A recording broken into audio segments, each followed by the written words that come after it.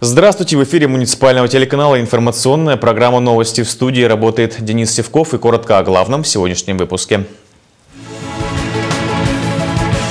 Забота о старшем поколении. В Петропавловске для ветеранов Великой Отечественной войны и труда организовали место досуга. Успели легализовать имущество. На то, чтобы узаконить свои владения, у казахстанцев осталось меньше трех месяцев.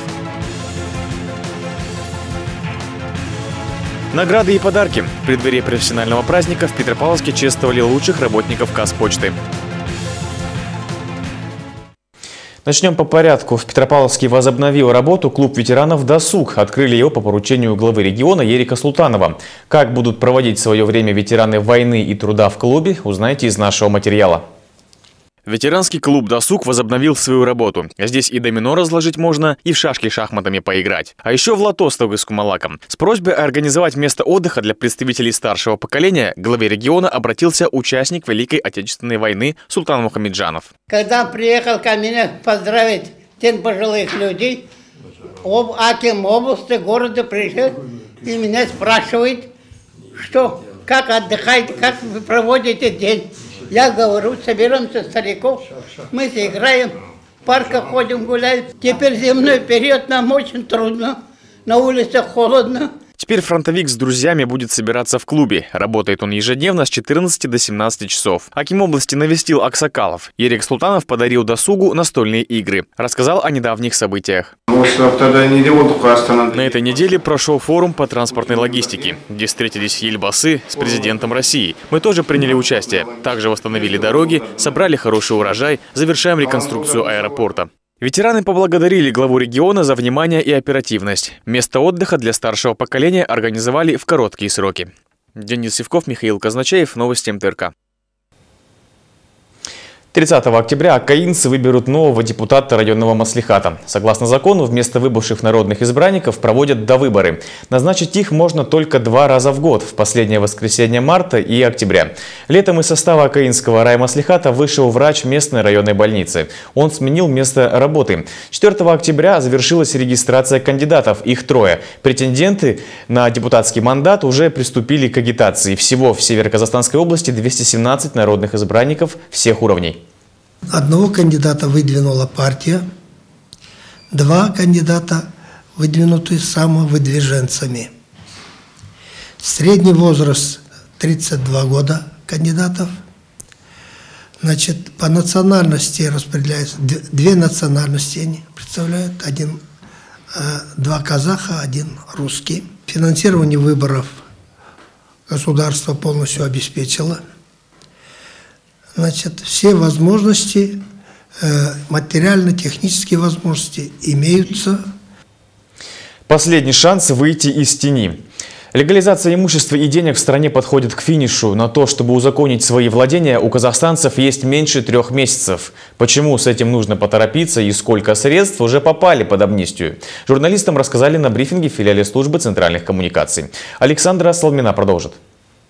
Это уже третья волна легализации. Именно она стала самой эффективной, говорят спикеры. Все потому, что условия процедуры в прошлом году упростили. Открыть счет и предоставить декларацию в орган госдоходов. Вот все, что нужно для амнистии капитала. Есть и второй способ. В банк ходить не придется. Зато необходимо поделиться с государством 10% от легализуемой суммы. Но первый вариант более популярен среди казахстанцев. Так в стране открыли больше 4000 счетов на сумму 4,5 миллиарда тенге.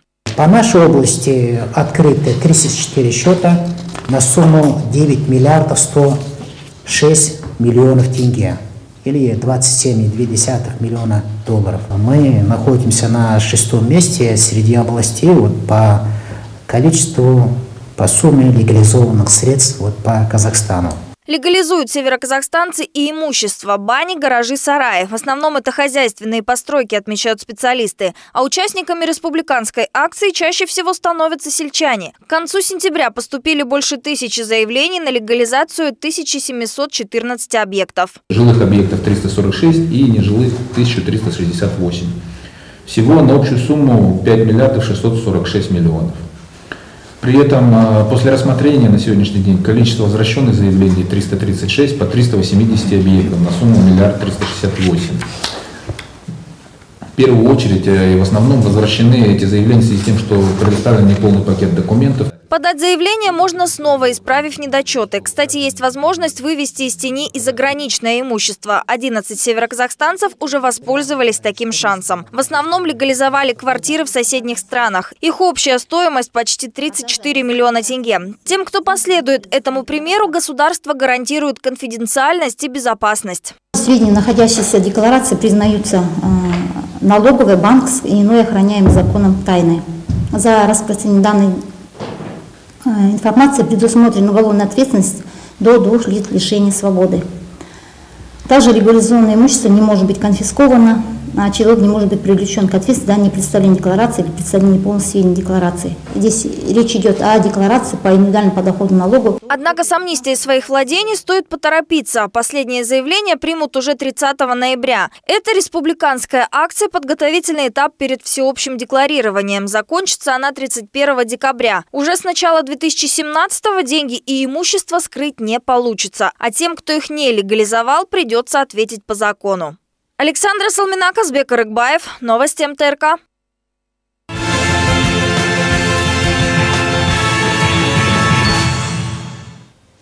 Девятое октября – Всемирный день почты. В преддверии праздника в Петропавловске чествовали работников этой отрасли. От имени главы региона виновников торжества поздравила его заместитель Анархан Дюсенова. Репортаж Кристины Горбаченко. Центральный операционный участок, 13 районных узлов связи, 14 городских, 88 сельских, 18 передвижных отделений. Так представлена сегодня Казпочта в нашем регионе. В этой отрасли трудится 1685 североказахстанцев. Протяженность почтовых маршрутов составляет 27,5 тысяч километров. Услуги доступны жителям 630 населенных пунктов. Казпочта не только оказывает бизнес-услуги, но и социальные услуги, особенно на селе. Сегодня мы восстанавливаем наши точки продаж. В этом году четыре отделения, которые раньше были закрыты, мы восстановили. Идет полностью автоматизация наших отделений. Сегодня 320 смартфонов получили наши почтальоны.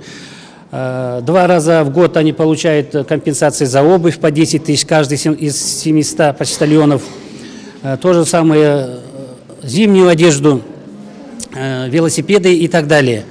От имени Акима области работников акционерного общества со Всемирным днем почты поздравляет его заместитель. История становления казахстанской почты сегодня неразрывно связана с обретением независимости, суверенитета нашей страны. Сегодня в этом зале присутствует только толика тех работников, которые делают огромный труд. И трудно, наверное, сегодня переоценить каждодневный, социальный и нужный для нашего населения ваш труд. Искренне хочется сегодня поздравить и отметить всех работников почтовой связи. Те, кто отдал работе в этой сфере не один год, получают почетные грамоты Акима области. Жибек Иманбаева с 1999 года трудится в почтовом отделении. Начинала почтальоном, сейчас руководитель. Я работу свою люблю, конечно, но тяжелая она. Компьютер это сложно. Тем более когда раньше мы учились, у нас компьютера не было, мне пришлось с азов все начинать. И хочу воспользоваться случаем, поздравить всех работников почты с праздником, пожелать всем здоровья, счастья. Четыре специалиста удостоены благодарственных писем главы региона. Еще ряду сотрудников вручили ведомственные награды и подарки. В честь профпраздника все работники почтовой связи получат денежные премии. На это выделили 16 миллионов тенге. Кристина Горбаченко, Михаил Казначеев. Новости МТРК. Специалисты АО «Казахтелеком» учатся. В регионе стартовал двухдневный семинар для североказахстанских сотрудников сферы продаж компаний. Внимание уделят многим аспектам, а в частности мотивации. О секретах успешной работы рассказал председатель правления организации Куанышбек Есикеев. Подробности у моих коллег.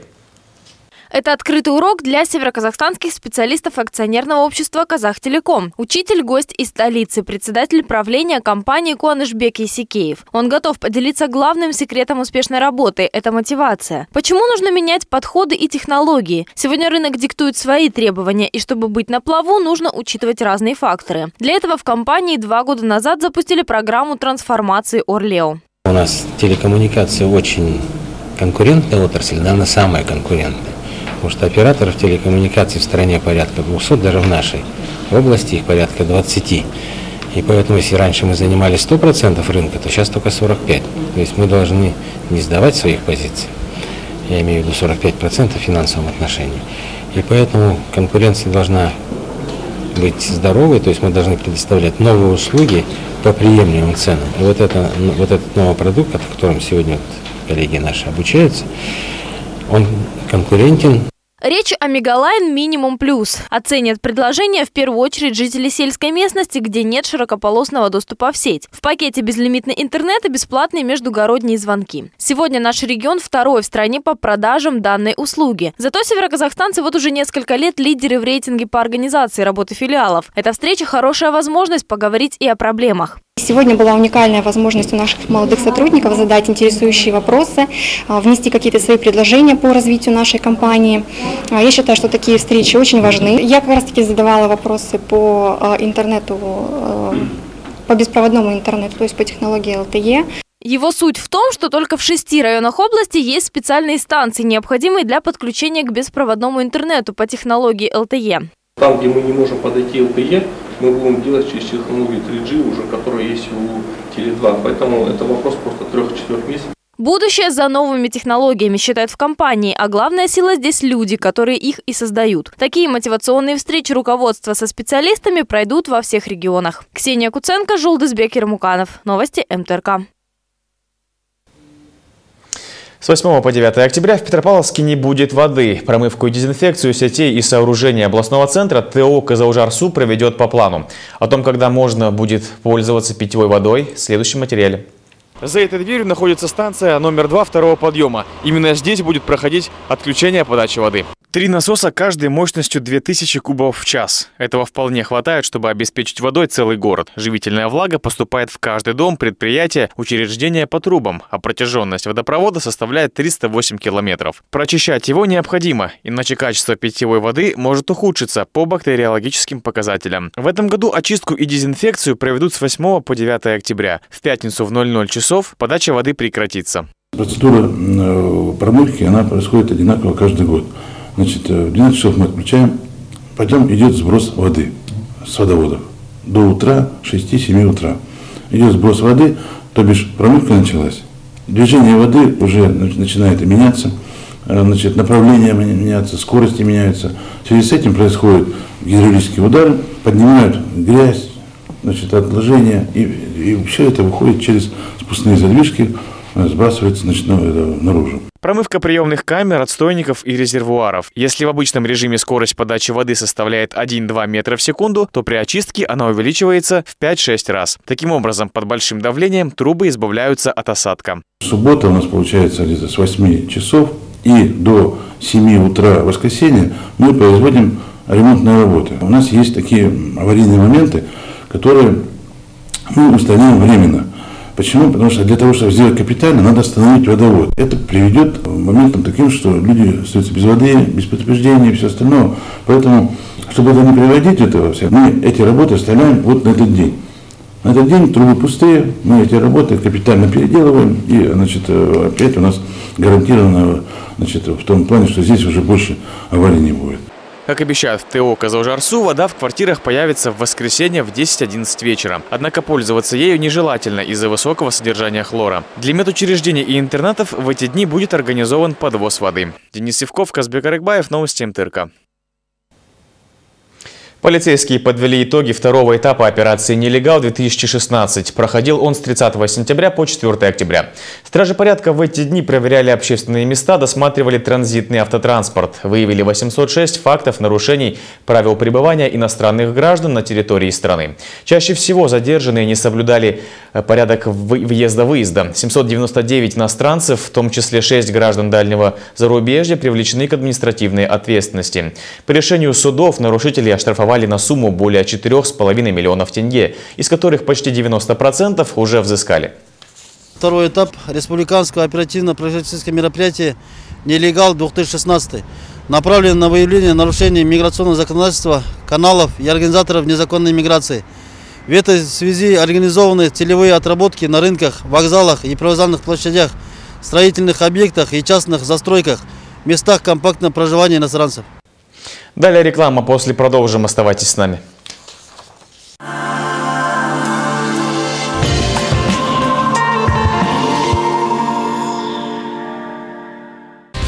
Жилой комплекс «Трио» — это прорыв в облике нашего города. Впервые в Петропавловске три 18-этажных дома в культурном эпицентре. «Трио» — это то, о чем вы даже не могли мечтать, но каждый из вас этого желал. Самый большой подземный паркинг, свободные индивидуальные планировки ваших квартир, закрытый двор и продуманная до мелочей детская площадка. «Трио» — это ваш новый уровень жизни. Квартиры от 165 тысяч тенге за квадратный метр и рассрочка до конца строительства. Жилой комплекс «Трио». Будущее начинается сегодня. Казградстрой.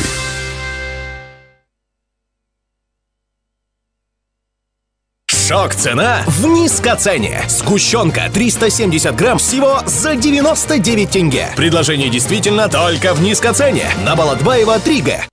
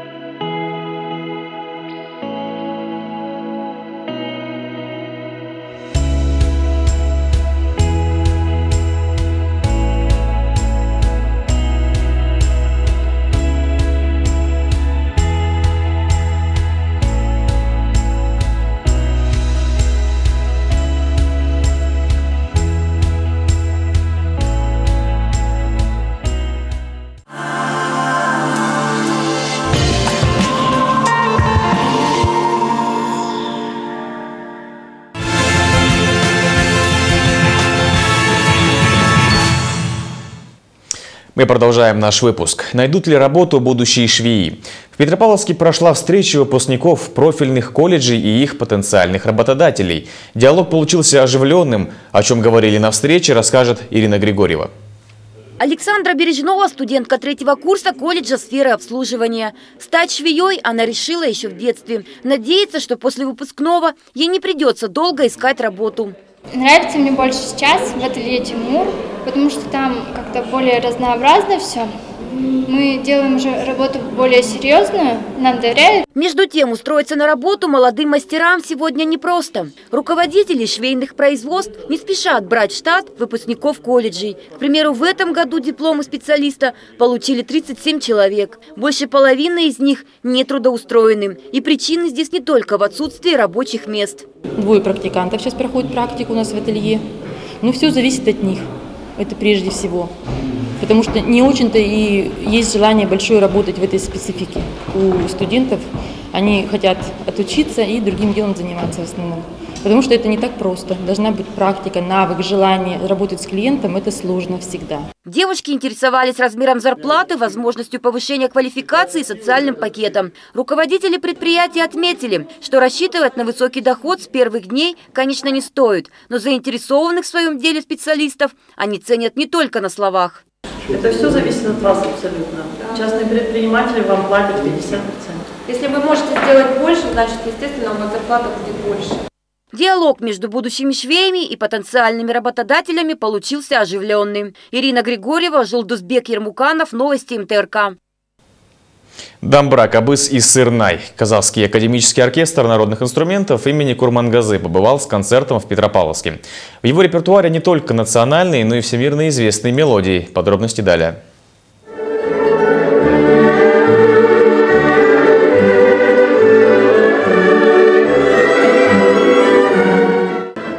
Сцене легендарный оркестр народных инструментов имени Курмангазы. Зал полон, каждый кью зрители встречают громкими аплодисментами. В их числе уже давно полюбившаяся цыганская серенада Шамши Колдаякова и произведение Сардабека Жумалиева.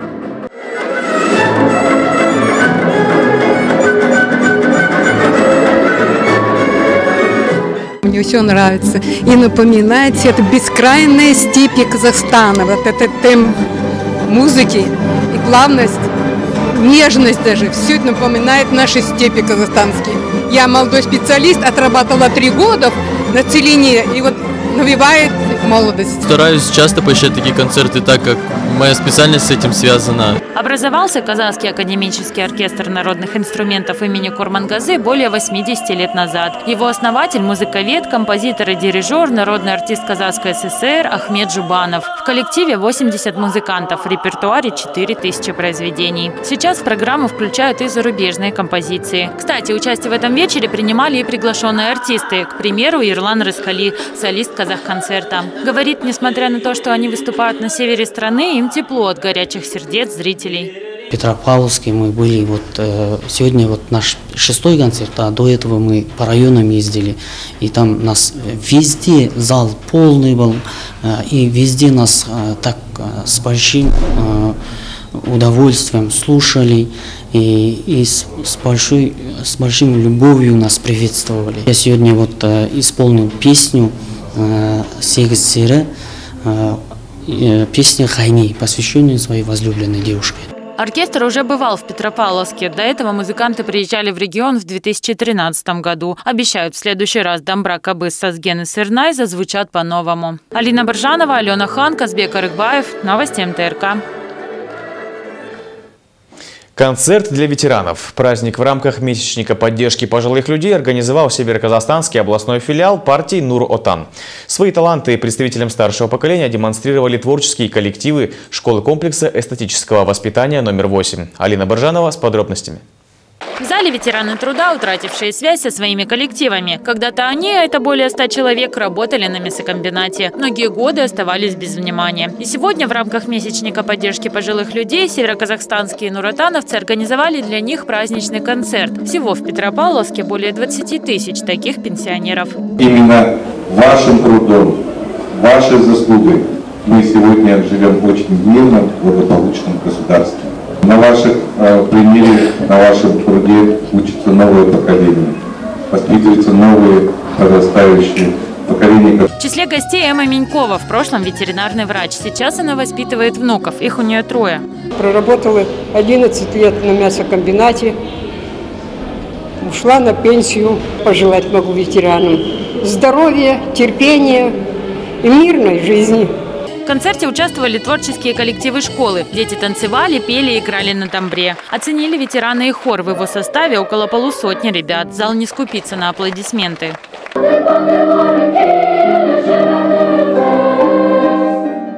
Всего в Петропавловске проживает около 42 тысяч пенсионеров. Из них 112 – ветераны Великой Отечественной войны. Алина Боржанова, Рустам Тлеужанов. Новости МТРК.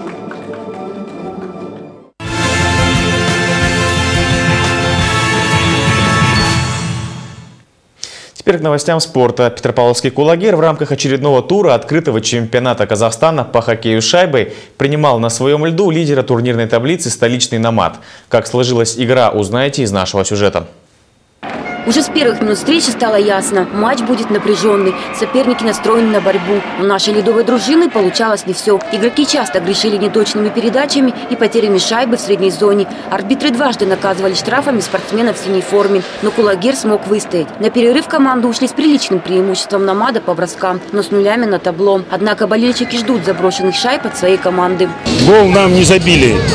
Но ну, а преимущество все равно, мне кажется, намадовцев было но я думаю, наши должны выиграть со счетом, ну 1-0 должны выиграть. Я первый раз пришел на хоккей, мне очень нравится хоккей. Я думаю, что Кулагер выиграет. Вторая 20-минутка началась с активного напора столичных гостей. Наша команда старалась не подпускать на мат к своим воротам. Но все же Артем Севастьянов сумел переиграть голкипера Кулагера Андрея Янкова и открыл счет. Хозяева льда смогли ответить на эту шайбу. Хороший бросок с лету исполнил Максим Волков. Не собирались уступать друг другу победу команды и в заключительной третьей матче. Однако преимущество было на стороне гостей. Талгат Джайлауф, отправив шайбу под перекладину наших ворот, вывел столичный коллектив вперед. И хотя Кулагер смог отыграться благодаря точному броску Анатолия Васильева, больше голов в основное время встречи зрители так и не увидели. Команда «Намат» э, молодая команда, быстрая команда.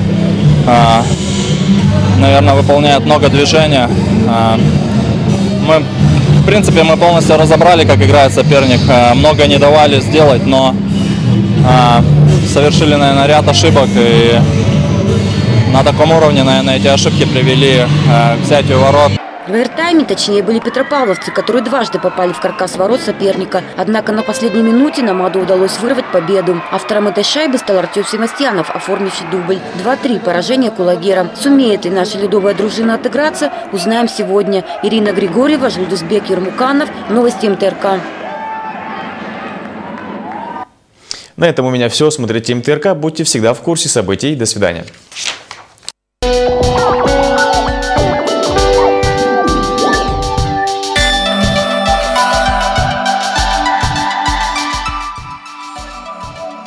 Погоде на пятницу, 7 октября. Днем ясно без осадков, ветер северный, скорость 3 метра в секунду. Температура воздуха ночью 0-1, днем плюс 2, плюс 4 градуса.